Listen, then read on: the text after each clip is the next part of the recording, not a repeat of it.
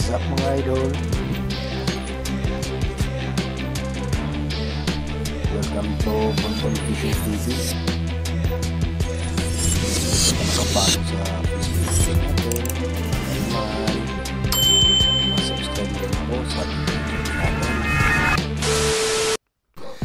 Welcome back again mga idol. Bonbon Fishing TV. Ispat natin ngayon sa Barangay Kasibang. 26 minutes na lakaran 1.9 kilometers yung lalakarin natin. Shout out pala kay Pina Expert One Life History. Shout out idol. At syempre shout out din kay G-Boy Gagula pre. Ito na. Ingat dyan sa Pampanga at syempre maraming salamat sa YouTube subscribers at Facebook followers natin. Shout out mga idol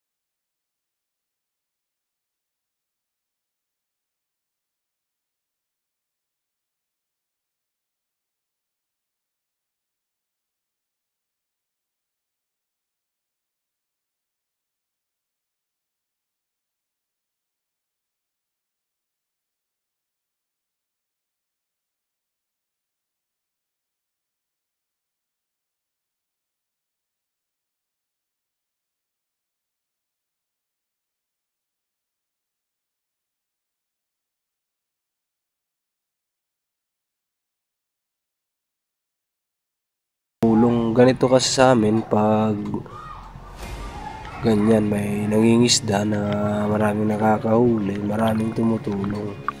Siyempre, libre ulam na yan.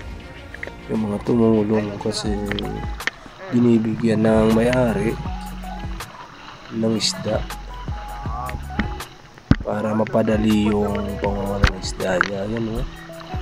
Dami. Dito, naki hingi muna tayo ng dalawang piraso. Kinilaw natin eh. Ang daming isda ito. Sana all. Siguro sa susunod, susubok din tayo niyan. Sasama tayo kay Papa. Kasi meron din si Papa niyan. May bangka rin si Papa. Yan o. Dami isda. So yan pa o. Yung dalawang balde. Siguro mga isang kumyan. Mahigit. Tapos dito, duman muna tayo sa mga bata. Makukulit. Yan. Nag-iyaw sila ng tamban.